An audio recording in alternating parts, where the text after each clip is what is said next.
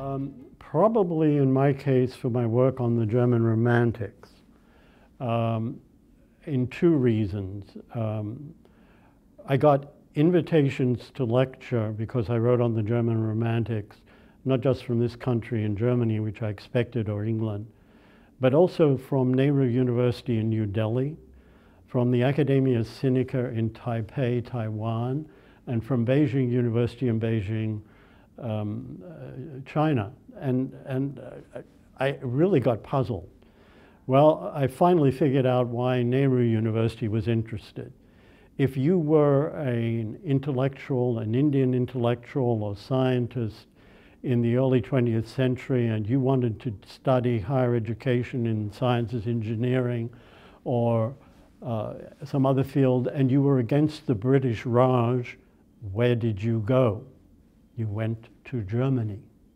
So there was a long tradition of Indian intellectuals studying in Germany and an interest in uh, particularly the German Romantics, who were the first people in Europe to seriously get interested in Sanskrit, for example, and Indian mythology.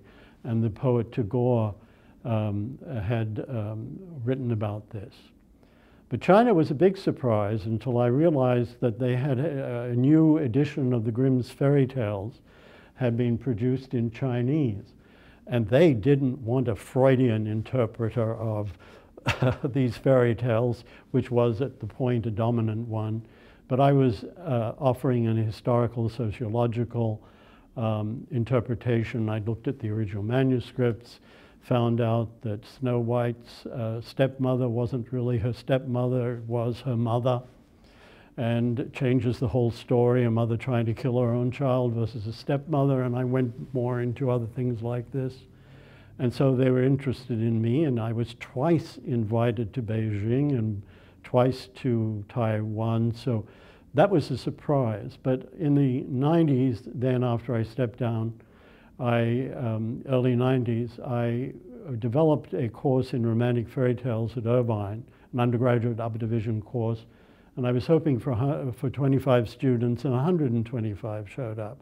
So suddenly I had to create a lecture course overnight, and I think I ended up for, with 160 at most in it, and I taught that for over 10 years. And today when I'm traveling, somebody will come up to me and say, I took your fairy tale course.